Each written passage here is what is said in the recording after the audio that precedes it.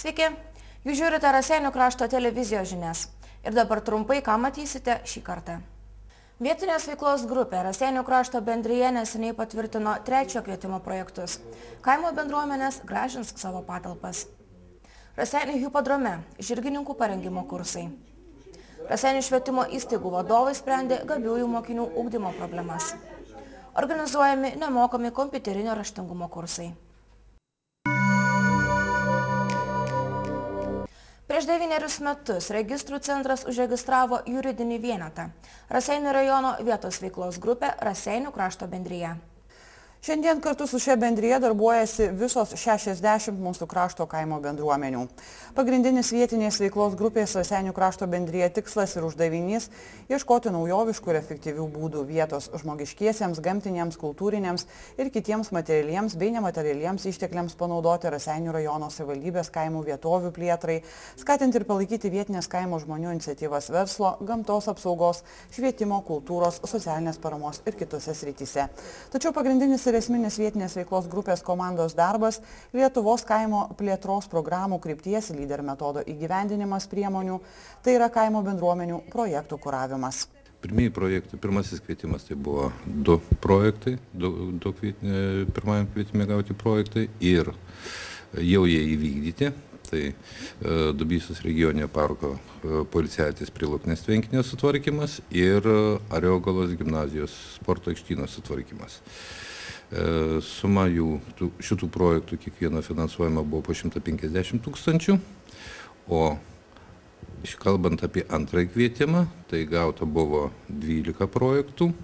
Ir finansuojama suma buvo po 300 tūkstančių, tai kada buvo pataisymas strategijoje būtent su žodžiu kapitalinis, tai teko daryti techninius projektus e, ir visi e, pagal techninius projektus statybai e, keliami buvo reikalavimai, kad būtų neįgaliesim įėjimas, kad būtų aikštelės prie, e, būtent prie namų ir kad būtų, kas neturi, valymo įrenginiai įruošti, vandentikis įvestas, viską už tai buvo didintas mano 150 iki 300 tūkstančių ir šitie projektai jau beveik baigti, išskyrus Norgelų dabaiginėjimas, o kiti jau yra ir priduoti ir jau eksploatuojami ir gana sėkmingai. Trečia. O trečią kvietimą jis įvyko visai nesiniai, jis buvo planuotas e, jau užpernai, bet kada įvyko e, šioks toks nesusipratimas su savivaldybė, tai metus laiko buvo sulaikyti projektai, nes e, nedalyvavo savivaldybė vietos veiklos grupės valdybos atstovavime ir dabar tenka šturmuoti šiek tiek projektus, tai jau trečiajame kvietime gavome 30 projektų. E, projektai nuo 50 tūkstančių iki 200 tūkstančių. Pagrindė ir šitie projektai yra kaimo bendruomenių pastatų e, remontas, jau yra paprastasis remontas, ne, nereikalinga visa techninė statybų dokumentacija, tai galima sutaupyti šiek tiek ir daugiau ir pinigų ir greičiau atlikti darbus ir dar ruošimės taip pat šturmuoti ir, ir ketvirtą ir penktą kvietimą ne tik. Sekančiu etapu įgyvendinami projektai bus finansuojami jau mažesnėmis sumomis. Ir tarsi toje patarlėje bus duodama meškerė. Kaimo bendruomenės jau turės galvoti apie verslumo projektus jau šitie e, kvietimai bus mažesnio finansavimo, tai 27 tūkstančiai, nes mūsų pagal strategiją yra numatyta 72 projektai atlikti kaimo vietovėse. Tai jeigu skaičiuojant, tai liko 28, tai bus 3 verslo kvietinę šitą projektai turėtų būti trys e, turizmo, kaimo turizmo nedideli projektėliai ir likusiai viešųjų erdvių arba būtent kaimo bendruomenės pastatų remontas, kad galėtų gyvuoti bendruomenė. O toliau kas? Sakykime, pati pradžia kaimo bendruomenių veiklos visgi buvo daugiausiai finansuojama savivaldybės, ar ne? Dabar jau, jau yra europinės lėšos. E, įsisavinus, sakykime, susitvarkius e, kaimo bendruomenių patalpas. E, toliau kas? Gana įdomus klausimas. Mes tą patį klausimą jau ruoždami šitą strategiją 8-14 metų jau galvojame, kas bus toliau. Mes suremontuojame patalpas, jos yra pagal panaudą perduotos, yra savininkas savivaldybė, perduota kaimo bendruomeniai, mes paruošime patalpas ir vien jeigu tai vyks šokiai, vakarėliai ar dar kas nors, tai čia yra daugiau kultūros centro e, darbas. O kaimo bendruomenė turi užsiimti kitą veiklą E, žinoma, negalima nustumti ir kultūrinių renginių iš šono, bet tai ne pagrindinė veikla. Ir todėl jau anksčiau buvo galvota, E, kaip išlaikyti šitas patalpas. Taigi reikia mokėti už komunalinės paslaugos, už elektrą e, ir tuo pačiu ir e, praėjus penkiem šešiem metam net ir paremontuoti tas patalpas einamai remontu, bet tai vis tiek reikės pasidaryti. Ir iš kur tų pinigėlių gauti. Už tai buvo daug kas sprendžiama, dabar ir, jau ir Europos direktyvose yra nurodoma, kad būtent sekantis laikotarpis 15-20 metų bus verslumo laikotarpis tai būtent bus finansuojami projektai e, su verslumu, kad kaimo bendruomenės užsimtų gal ir socialinės e, e, šitą paslaugų sferos, galbūt verslo smulkaus, kaip paimkime vat, mūsų betygalos kaimo bendruomenė, jau užsima dabar ir žolelių rinkimų, duonos kepimų. Kol kas tai tik tai pradžia, bet e, galėtų įsivystyti ir į verslą. Kaip, pačios kaimo bendruomenės, jų lyderiai reaguoja, sakykime, dabar tie darbai taip jau jie lyg ir aiškus, tokia techninė, ar ne, projektavimas, remontas, įkurtuvės valio. E, toliau e, išlaikymas, verslo kūrimas, nesupanikuos pirmininkai, visgi, sakykime, ne kiekvienam yra duota kurti savo. Taip, verslo gyslelę ne kiekvienas turi, bet tam yra šalia e, mūsų projektų yra mokymo dar sfera. Mes vykdome mokymus ir būtent e, bandome siekti, kad e, kiekvienas bendruomenės pirmininkas ar bendruomenės narys, kuris aktyvesnis, kad būtent įsijungtų į mokymus, dalyvauja mokymuose. Mes jau dabar ruošiame šitą dalyką ir ateityje žinoma, ne kiekvienas gali užsiimti verslu, bet smulkių verslų, ypač kada yra nors vienas kaime aktyvesnis žmogus, tai dar tuo pačiu pasikonsultuojant su vietos verslininkais, galima kažką tai sugalvoti. Raseinių krašte registruota 60 kaimo bendruomenių, iš jų aktyvumu pasižymi apie 50, skaitlingumu pasižymi dvi - Viduklės miestelio ir Norgelų kaimo bendruomenės. Šiuo metu Raseinių hipodrome vyksta nemokami kursai žirgininko parengimas. Pirmą kartą Raseinių krašte surinktuose mokymuose suformuotos net dvi grupės. Šiuo metu mokosi grupė žirgininkysės pagrindų antra. Tai yra praktiškai pradmenis, bet temų labai daug, nuo pat žirgo istorijos iki prieimo prie treningo, prie veisimo, prie rūšių. Nu, labai plati tema, ir praktiškai žmonėm, kurie žino prisiskaitę knygų, tačiau nemoka praktiškai, dar yra daromi praktiniai užsiemimai su pačiu žiru. Ir pradedam net savaitgaliais, nes kad žmonės sugebėtų išsiprašyti iš darbų, kad, kad galėtų mokytis. Žirgininko parengimo mokymuose yra dėstomi žirgininkystės pagrindai, veislininkystė, jojamųjų žirgų treniravimo technologija ir ristūnų žirgų treniravimo technologija. Paskaitas skaito šeši atvykstantis lektoriai. Į neseniai pabaigtas renovuoti Raseinių hipodromo patalpas žirgininko duonos paragauti atvyksta moksleivių iš visos Lietuvos, Klaipėdos, Jurbarko, Šakių, Kauno rajonų, Joniškio, Radviliškio rajonų, nemaža dalis ir vietinių, Rasiniškių. Įvairiausia publika, tačiau nustebom patys, daug atvažiuoja tokių, kurie tiesiog nori bandyti laikyti žirgus. Mhm. Tiesiog savo, kad turėtų supratimą, kad neprisidarytų klaidų tokių, kur, tie, kurie nori pradėti auginti. Tik tai. Aišku, yra ir tokių, kurie yra ir joja, ir, ir treniravę. Jiem irgi tai naudinga. Manau, kad po šio nu, kaip pasakyt, labai, labai didelis kiekis palyginti susitinko, tai bus testinė veikla ir, ir ta kryptis buvo iš pat pradžių jau projekte numatyta ir jinai tęsis tikrai. jau neturimo po vakarykščio užsiėmimo e, organizuosim kažkada balandžio mėnesį mokamą tokį seminarą apie dantų žirgo sandarą, nes vakar, pažiūrėjau, buvo dėstytojas, kuris Vokietijoje pas geriausią stomatologą žirgų stažavosi ir rodė pačius naujausius pasiekimus dantų stomatologijoje žirgam. Tai yra vienas iš didžiausių faktorių, kas liečia žirgo sveikatingumą. Mhm. Kalbant apie lektorius, jie iš kur jų kvalifikacija, kaip juos atrinkot? Buvo tiesiog toks konkursėlis ir mes žiūrėjom į patirtį. Dabartinis dėstytojas yra e, labai geros kategorijos ir teisėjas tarptautinėse varžybose. Jis dabar va kitą savaitę vėl išvažiuoja į mm, Junktinius Arabų Emiratus teisėjauti. Ir daug metų pradirbęs, apie 12 metų pradirbęs Vokietijoje dabar gyvena Lietuvoje, bet turi didžiulę patirtį tarptautinę, dalyvavęs ir olimpinėse žaidynėse kaip teisėjas. Tai vienas iš tų daugiau turėjom iš Lietuvos sveikatos mokslų instituto dėstytojus Rūta Šveistienė daktarė, Artūras Šiukščius. Labai įdomios medžiagos, tiesiog tokios naujienos. Iš po pirmo kurso nedaug kas prašė tos PDF'us persiųsti medžiagas, nes vadovėlis, kaip matot, išleistas, tačiau jam tikrai tie yra pagrindai, o čia tokia medžiaga, kuri, nu, kurios nelabai rasi dar pasiskaityti.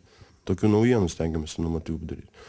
Nu, kitas dalykas, grįž Ristūnam, pažiūrėjau, treniruoti atvažiuos Vita Jasinuskaitė, čia 89-ais dirbus, dirbę žmogus šitam žirgynė, dėstyti būtent Ristūnų technologijų. Stengsimės, stengiamės paivairinti šitą visą temą. Ir dėstytų, sakau, mm, toks yra, kaip pasakyti, mm, noras, kad kuo daugiau rodyti iš praktikos pusės. Šiandien dienai Raseinių hipodromo viešai matoma veikla mokymai, tačiau vadovas juokavo, tikrai nesiuošia tapti tik mokymo centru. Žirgų lenktynės tikrai vyks. Ne, ne, mes tikrai laukiam kada susitvarkysim hipodromą ir pagrindinis tikslas hipodromo tai aišku žirgų lenktynės. Tačiau yra planų ir, ir, ir konkūrinę aikštę padaryti prie to pačio ir, ir taip pasijodinėjimus daryti. Žinoma, kad prioritetas bus žirgų lenktynės, tačiau mokomoji veikla tikrai bus neatskiriama nuo to dalyko, nes galbūt tai ir yra visos žirginės pam, pamatas, kad turėtumėm gerų kadrų, o ne tik tai turėti lenktynės, bet be žmonių, be gerų kadrų. Vakar į Raseinių lapšelį darželį Solutė rinkosi ugdymo įstaigų vadovai. Besibaigiant vasario mėnesį, mūsų rajono ugdymo įstaigų vadovai rinkosi eilinį pasitarimą. Pagrindinis susirinkimo tikslas – aptarti gabiųjų vaikų ugdymo problemas. Susirinkimas prasidėjo netradiciškai, neformaliuoju stiliumi. Visi svečiai buvo pakviesti į salę, kur Lopšelio darželio auklėtiniai ir dainelių padainavo ir parodė, kaip šokti moka. Po šios muzikinės dalies visus susirinkusiosios salutės direktorė Skina Armalinė pakvietė ekskursiją po atsinaujinusių darželį, kuriame po renovacijos darbų netrūksta nei šviesos, nei šilumos. O laimingai vaikučių vaikai išduoda, kad jiems čia būti žaisti su begalė žaislų išties patinka. Šiandien susirinko visų ugdymo įstaigų vadovai ir bendrojo ugdymo mokyklų, ir iki mokyklinio ugdymo įstaigų, ir neformaliojo švietimo įstaigų vadovai. Aptarsime gabiųjų mokinių ugdymo problemas, kalbėsime apie tai, kaip reikia atpažinti gabų mokinį, kaip e, reikia modeliuoti pamokas, dirbti su gabiuoju mokiniu klasėje, kaip diferencijuoti užduotis, kaip individualizuoti užduotis, kad gabusis mokinys išnaudotų visą savo potencialą, gebėjimų potencialą ir iš tikrųjų jaustųsi profesionalas klasėje ir visada turėtų ką veikti ir, ir turėtų užduotis, kurios gilintų jo žinias ir jo gebėjimus. Šiandieną, kaip matome, dar labai, labai gražiai priemo vaikučiai paruošę kažkokią specialią programą jums. Iš tikrųjų labai dėkingi Saulutės darželio vadovybei, vaikučiam. Matau, tikrai visi pasipuošę, tikrai laukia mūsų įstaigų vadovų. Bus programėlė, tikrai mes su malonumu pažiūrėsime, kadangi žinome, kad Saulutė turi gilias tradicijas, meninio ūkdymo tradicijas ir vilėmės, kad tikrai mes gražių šokių ir dainų šiandien išgirsime. Sakykite, pasitarimai šitie, minėjote, vyksta kas mėnesį. kaip kaip vyksta patys darbai kaip kaip pla planuojate viskas darbai einasi sklandžiai planai ir ir įgyvendinimo priemonės Šiandien kaip tik aptarsime naują modelį pasitarimų. Mes tiesiog dabar galvojame apie tokią, e, tokią struktūrą, kad galėtume paprašyti vadovų, kurie turi antrą vadybinę kategoriją, pristatyti savo puikiausius darbus, puikiausius mokytojus, naujas metodinės veiklas. Ir šiandien kaip tik tarsime apie tai, kaip šiais metais mes e, organizuosime pasitarimus ir kokius galėtumėm klausimus aptarti. Kaip minėjau, žinoma, prioritetas bus e, gerosiom praktikom prašom aptarti. E, tikrai kiekvienoje mokykloje yra nepaprastai gerų patirčių, e, įdomių projektų, kuriuos tikrai tikslinga aptarti įstaigų vadovų pasitarime. E, mes turėdavom praktiką išvykti kitas savivaldybės. Iš tikrųjų pastebėjome, kad mes irgi turime ką vienas kitam papasakoti ir šitie pasitarimai šiais metais organizuosime šios pasitarimus mūsų ugdymo įstaigose. Atsižvelgiant į šio laikmečio aktualijas, Raseinių viešojo bibliotekoje ir jos filialuose nuo 2009 metų siūlomi nemokami kompiuterinio raštingumo kursai. Tai ypač aktualu dabar, norint tapti aktyviu ir efektyviu informacinės visuomenės dalyviu. Lietuvoje nuo 2008 metų prasidėjęs projektas bibliotekos pažangai buvo pirmiausia reikalingas ir vertingas patiems darbuotojams o nuo 2009 metų jau ir gyventojai galėjo pradėti mokytis kompiuterinio raštingumo kursų bibliotekose. Praktiškai šitie mokymai, gyventojų kompiuterinio raštingumo mokymai prasidėjo nuo 2009 metų, e, nes kaip žinot, 2008 metais startavo projektas bibliotekos pažangai. Jis tęsės 4,5 metų ir vienas iš projekto tikslų buvo būtent skaitminės atskirties mažinimas. E, tuo tikslu daugiau kaip apie 2000 bibliotekininkų jie baigė įvairaus lygio skaitmenio raštingumo mokymus.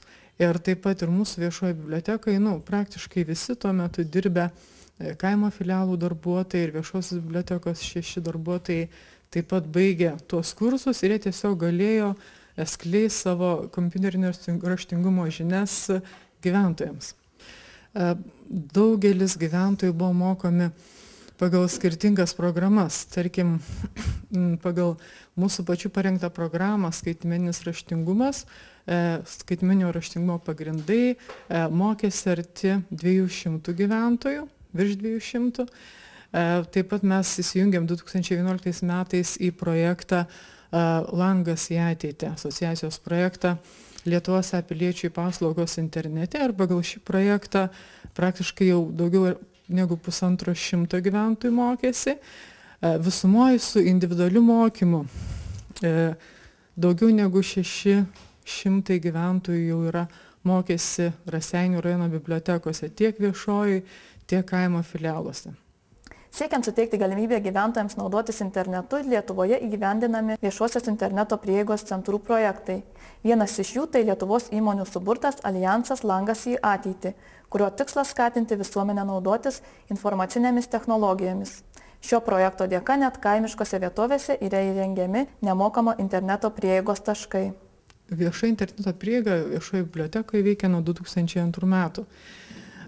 Tačiau E, kaimo filialuose, kurie dalyvavo, mūsų biblioteka turi 25 filialus kaime, skaitant Ariogalos miesto filialą. E, juose e, per įvairius projektus, tai yra VIP1, VIP2, taip pat bibliotekos pažangai projekto metu buvo įsteigta vieša interneto prieiga. Ir tų prieigų mes turim šiuo metu iš 25 filialų 24. Daugelį iš jų vyko mokymai nuo 2009 metų. Tačiau ir šiais metais visi, kurie nori gyventojai išmokti pagrindų, gali kreiptis į ten dirbančius bibliotekininkus ir jie tikrai neatsisakys, žodžiu, pasidalins savo žiniom. E, tikrai pagelbės atliekant vieną ar kitą darbą internete. Galbūt, jeigu reikės ilgesnių mokymų, e, suteiks ir, ir, ir ilgesnius mokymus, žodžiu, bibliotekos jos kaip ir pareigotos tiesiog skatinti žmonių e, skaitmeninio raštingumo ūkdymą, e, kad ta skaitminė skirtis vis dėlto mažėtų, nes 30 e, procentų Lietuvos gyventojų vis dar nesinaudoja internetu ir kompiuteriu. Kaip rodo duomenys 2011 metų, nors interneto svarba Lietuvoje yra e, šiaip gana didelė, ypač šviesolaidinio interneto ir praktiškai galimybės naudotis internetu, fizinės galimybės yra sudarytos. E, tačiau e, gal reikia šiek tiek drąsos ir truputį kantrybės ir bet kurio amžiaus žmogus jisai gali įveikti tą barjerą. Nes tai yra daugiau psichologinis barjeras. Tai nėra tikrai labai sudėtingi veiksmai. Išmokti dirbti kompiuteriu tiesiog šiek tiek drąsos, kaip sakiau, ir truputį kantrybės. Bibliotekose organizuojami nemokami kompiuterinio raštingumo kursai yra skirti suaugusiems. Atsižvelgiant į lankytojų poreikius sudaryta apie 30 akademinių valandų truksianti mokymų programa. Pradedantieji mokysis kompiuterinio raštingumo, naršymo internete subtilybių ir žinoma naudotis šiandien labai populiariamis elektroninėmis paslaugomis. Tai tiek reportažą mes jums buvome paruošę šiam kartui. Rytoj savaitės įvykių apžvalga jūsų lauks informacinėje laidoje Mūsų savaitė.